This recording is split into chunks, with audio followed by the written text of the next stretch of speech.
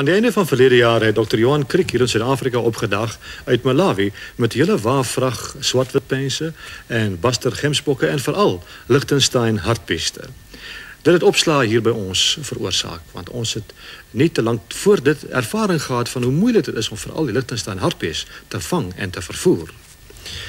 Johan, wat het jou genoop om hierdie diere in Malawi te haal?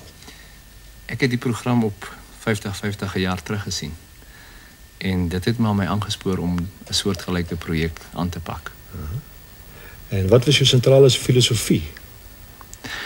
Uh ons het van die uitgangspunt gegaan om die die spanning uh en die vrees van die dier tot 'n minimum te beperk. Uh -huh. En ons hele vangoperasie het ons daarvolgens beplan. Kan jy dit beskryf? Ja, ons het ook 'n uh, helikopter uh, en die gewone kabel plastiese krale wat mens bou in 'n tregtervorm gebruik. Uh, en dan het ons hulle in die drukgang ingejaag. Ek het 'n drukgang ontwerp uh, waar menskontak baie uitgeskakel Kom ons begin by die helikopter. Uh uh het jy enigiets spesiaal gedoen om die helikopter aanjaag? Uh, ek dink die loods wat ek gebruik het uh, was uitstekend. Hy het geweldig baie ondervinding, uh, uit die diere baie gerus uh, uit die spanning en die vermoeienis op die diere tot 'n minimum gehou. Uh, hy het hulle genoeg ruskans gegee as hulle verder as soveel kilos was, het hy die diere baie goed. Mm -hmm. En die drukgange? Die drukgange self uh is maar die gewone wildvang drukgang uh die die die die krale nou wat afgaan in 'n drukgang en die drukgang het ons van uh gewone pyp en en en en uh voerband uh materiaal. Met, ja, Waarom? om die geraas tot 'n minimum te hou. Mm -hmm. Dit was deurgaans julle benadering geweest. Geraas te ja. verminder, menskontak seker ook.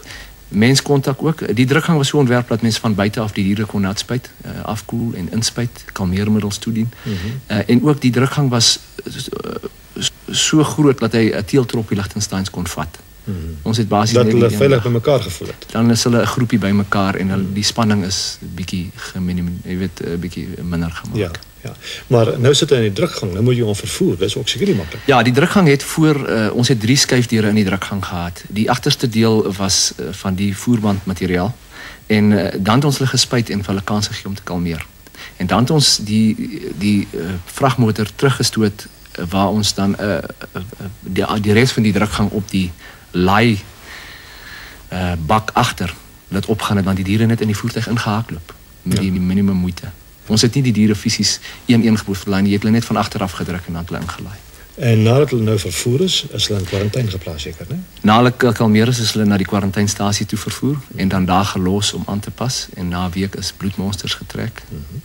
En na 28 dae se se periode is daar weer die tweede bloedmonsters getrek om seker te maak hulle was siektevry. Hmm. En toe omtrent 'n week daarna het ons hulle toe weer in die drukgang ingebring, die Liechtenstein hartebeeste nou. Verdoof en na die vliegtuig toe gery in vragmotors. Vertel 'n bietjie van die vliegtuig ondervinding.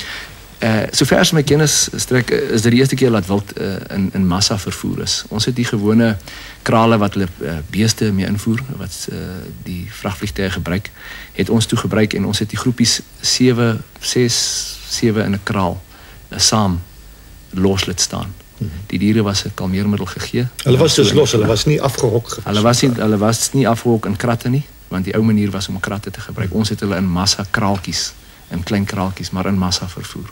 Wat was jou su suksespresentasie van hierdie diere? Ek het uh, in Malawi na 9 weke het ons sewe volwasse Liechtensteins verloor. Uit hoeveel? Uit 'n groep van 50. Dis baie goed. En toe in Suid-Afrika het ek ongelukkig uh, weeromstandighede en baie goed teen my gehad en hulle het koue gehad en baie reën.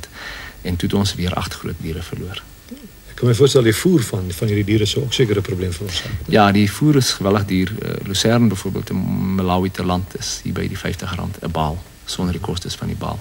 En dit is die verliese. Ek het uh, die verliese van die Liechtenstein was 'n voerstres. Dit was as gevolg van voer. Mm -hmm. Nou wil ek ook vir jou vra, wat was jou doel met uh, hierdie diere? Waarom wou jy die diere hê? Ek wou die Liechtenstein terugbring Suid-Afrika toe. Daar was 'n troppie wat uh die vorige vangoperasie wel gevestig het.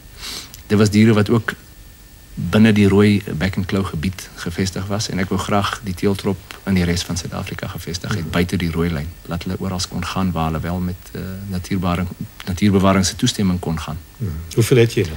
Ek het op die oomblik 15, 4 bulle en 11 koeie. Mm -hmm. So jy sê na al die moeite, al die beplanning, die geweldige logistiek om van een land na ander een hierdie operasie te reël van Suid-Afrika na Malawi en 'n redelike teleurstellende veiling, was dit vir jou die moeite werd geweest? Ja, ek dink finansiëel het ek seker maar gelyk gebreek. Ons dink dit geld gemaak, maar daar was eintlik 'n uh, groot risiko verbonde. Maar ek het die Liechtenstein en ek het hom terug in Suid-Afrika en dis seker dan suksesvol geweest. Wel, dis 'n baie goeie voorbeeld van private inisiatief by bewaring. Danksy Dr. Johan Kriek en die Nasionale Parkeraad se pogings is die Liechtenstein of so ook bekend as die Mof Hartbees ook goed gevestig in Suid-Afrika.